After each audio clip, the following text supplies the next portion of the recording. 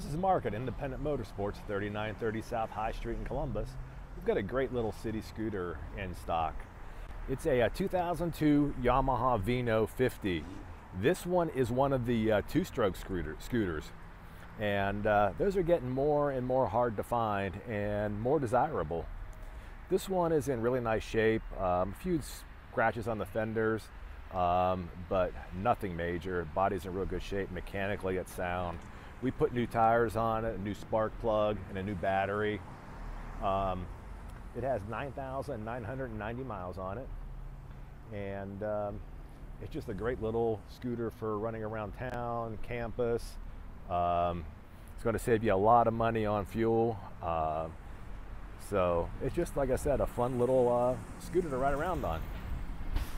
Anyway, you can see this at Independent Motorsports, 3930 South High Street in Columbus. Ride safe and ride independent.